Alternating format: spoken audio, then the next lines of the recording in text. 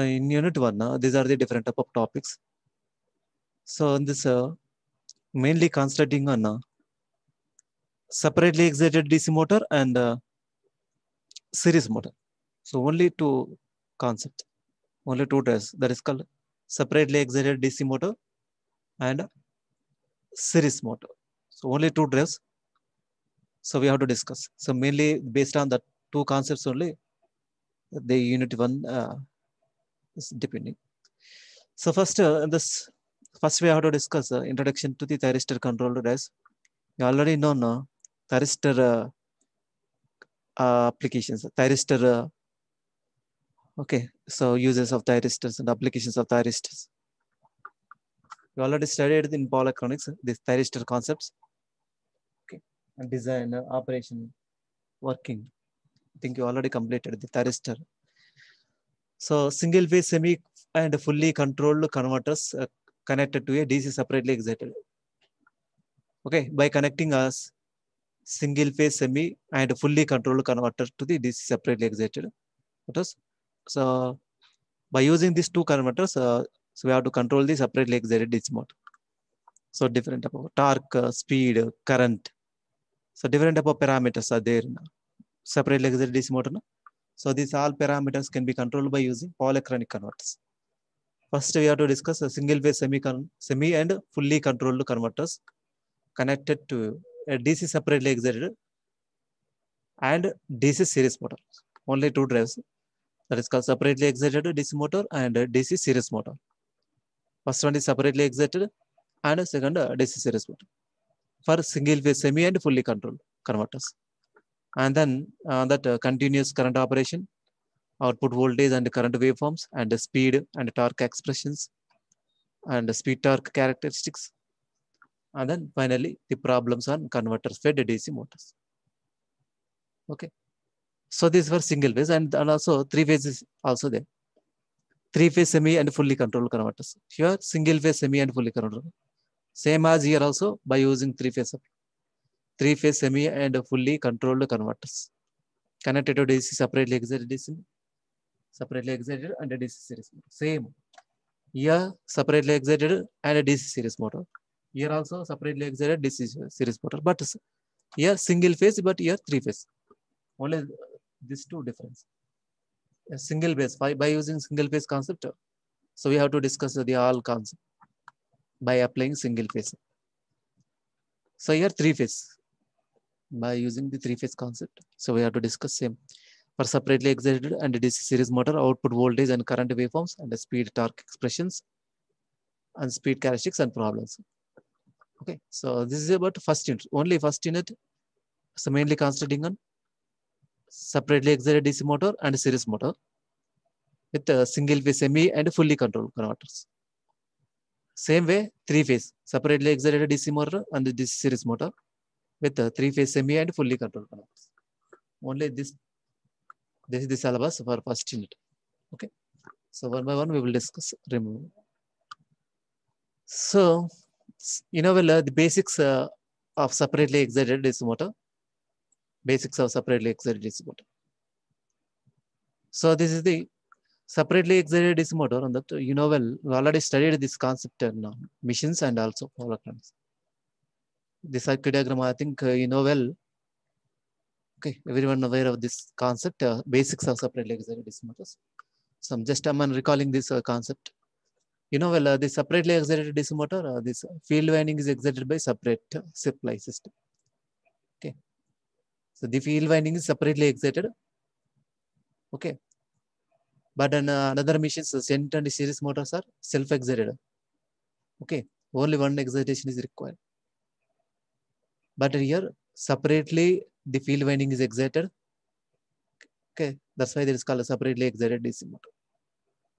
Okay. So you know this is called a sub, separate excitation that is called sub, uh, field voltage, field current, armature voltage, supply voltage, armature, armature voltage, armature current. These you know, you know relations, notations, IA armature current. RA, armature resistance, LA inductance of the winding of the DC machine. Okay. So this uh, inductance effect only under starting condition, but under steady state condition there is no inductance effect because of under uh, this is a. You know well the concept of inductance. The inductor is opposite the sudden changes current. On? That's why the inductance concept comes to, to the DC machine at the during turn on during starting conditions only. The inductance effect is constant. But under steady state, uh, there is no effect of inductance. So it is short circuited. Okay. So this color back EMF, you know well, and this called load.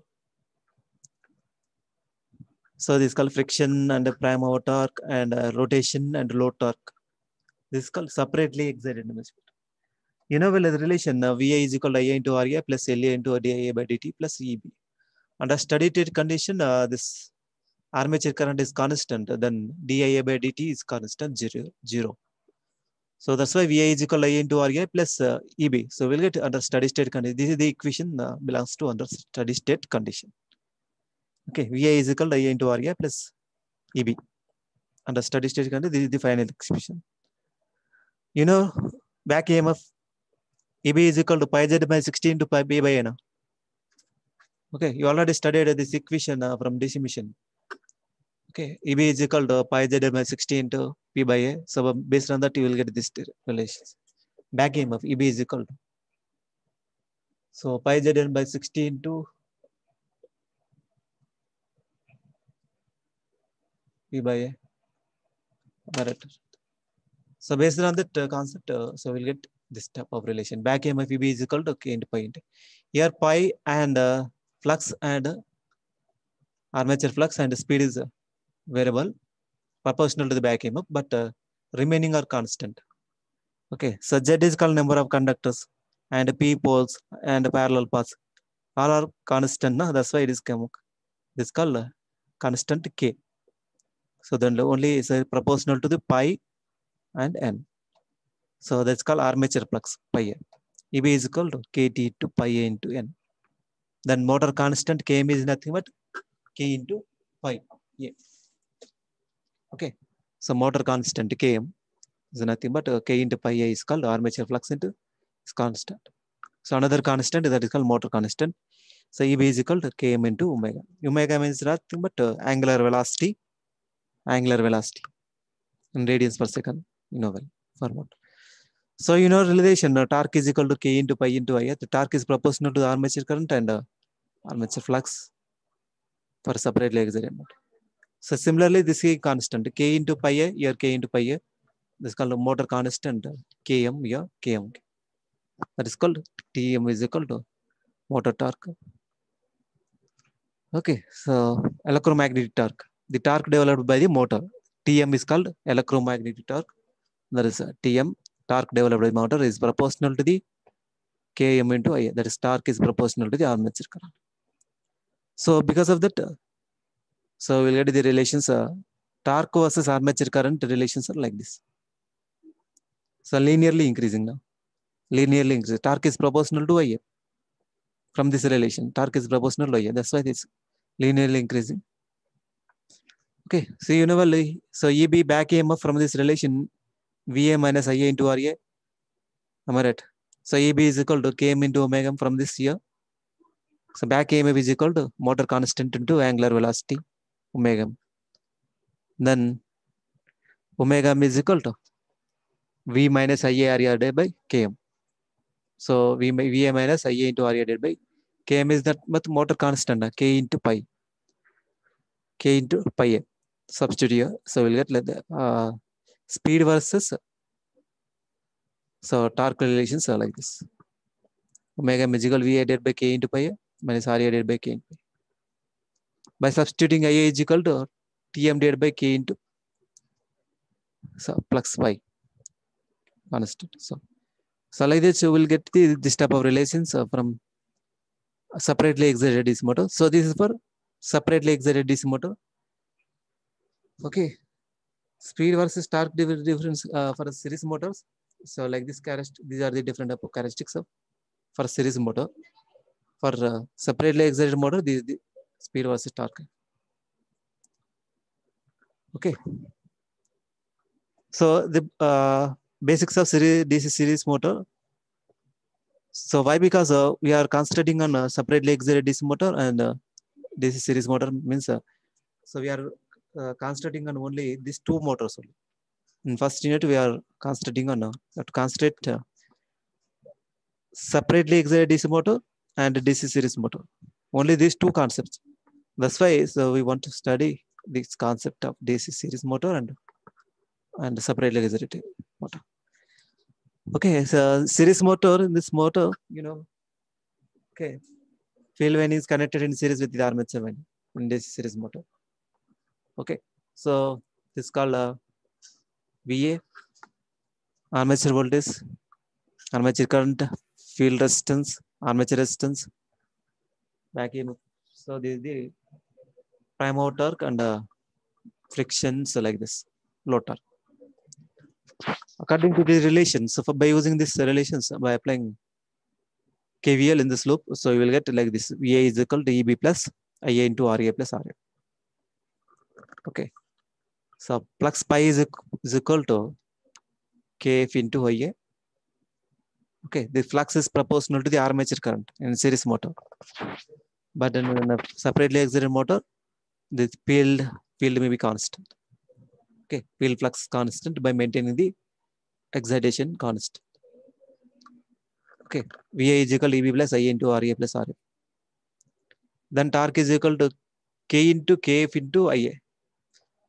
Okay, ISK, ISK. Then uh, so we'll get the relations uh, omega is equal to VA by KT into KF into IA, so minus RA into by KT into KF. So like this, we will get the relations. So here torque versus uh, speed versus torque uh, or armature current relations are like this. Speed versus torque, speed versus torque relations are so like this. That's why you will get the relation. So this one.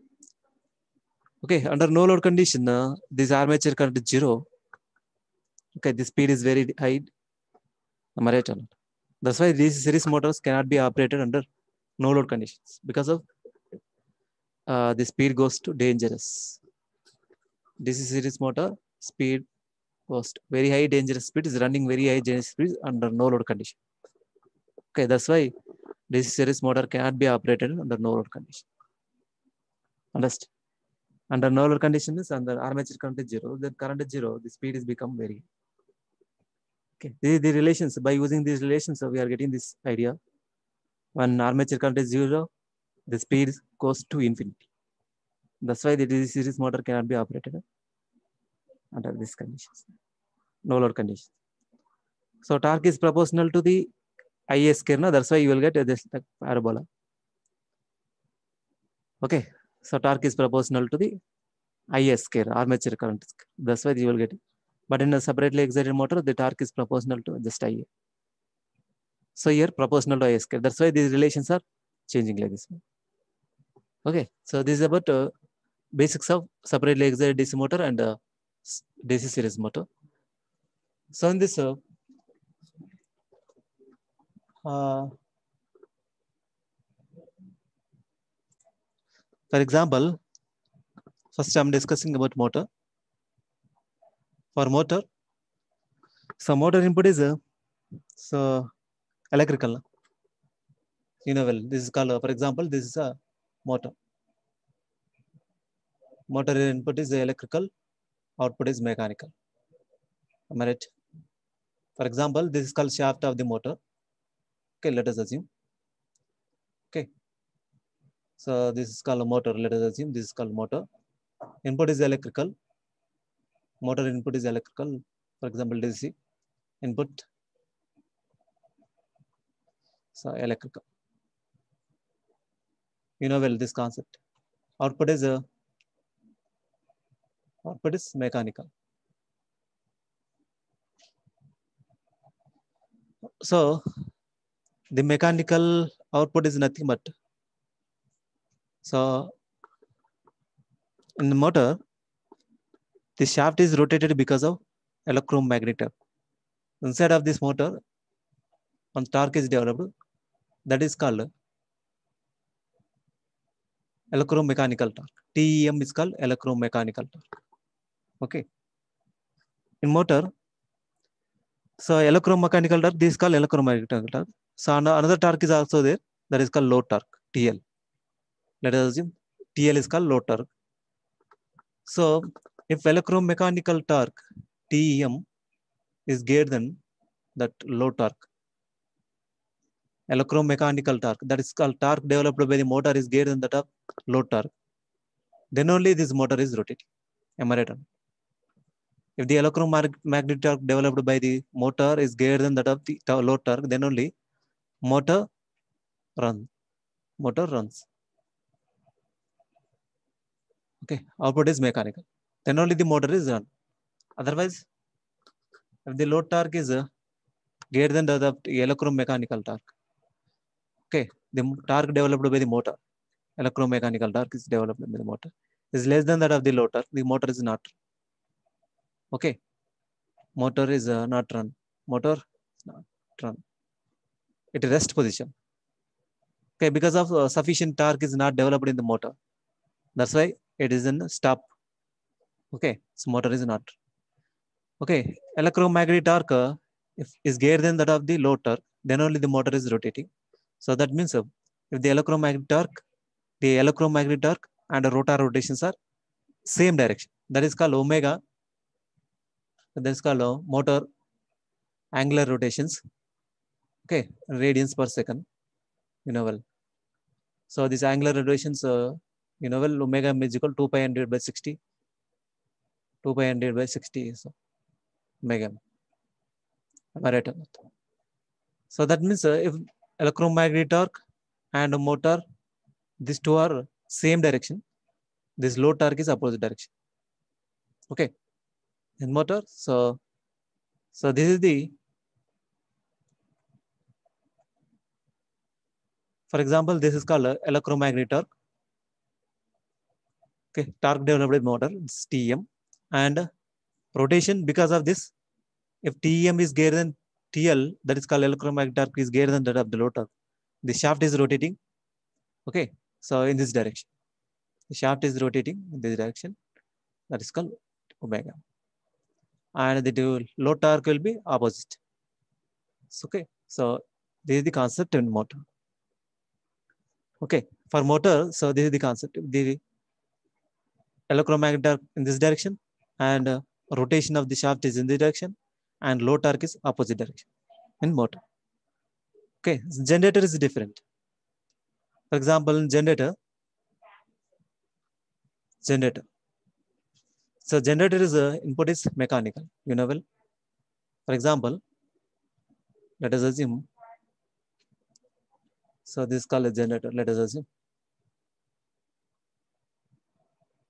So generator's output is electrical. No? Input is mechanical. So let us assume this is called a so mechanical input. This is called shaft. So this is called mechanical input. Input is mechanical. So output of this uh, generator is called electrical. You know well.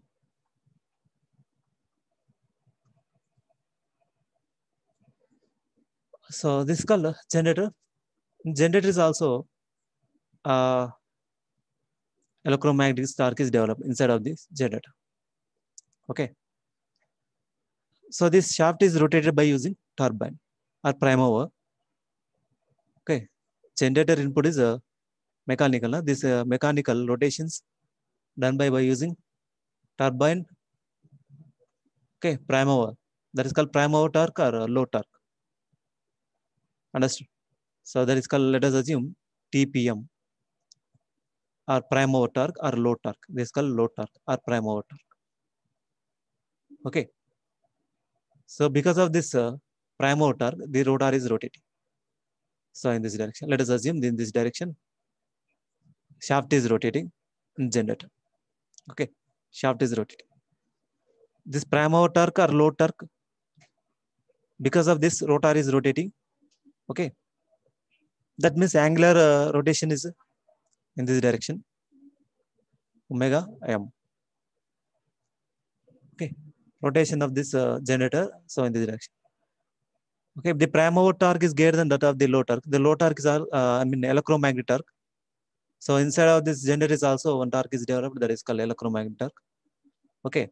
If the prime mover torque, if the prime mover torque or turbine torque or low torque, the prime mover torque is greater than the, of the electromechanical torque. Generally, this uh, output uh, generates. That is called rotor is rotating. Then only the rot shaft is rotating or rotor is rotating. Right or not? Otherwise, the rotor is not rotating. If the primary torque is uh, less than that of the okay electromagnetic torque. The primary torque or low torque is less than electromagnetic torque. This torque developed inside of the generator is greater than the, the primary torque. Then motor is rotor is not rotating. Okay, rotor is rest. Okay, then here only the output is uh, so getting electrical. Output is electrical. Your output is there is no rest. No, that's why this uh, output electrical output is equal to zero. Okay, in this case. So here same way here electromagnetic torque and primary torque are opposite. So that's why this color TM electromagnetic. So this is the relation now you must and should know then only another concept can easily understand. In generator, the low torque and uh, rotor rotation is same, but electromagnetic torque opposite. But in motor, so electromagnetic torque and uh, rotation both are same, and low torque is opposite. Okay, exactly opposite here for motor and generator. This is the concept, some simple concept. Okay for motor and generator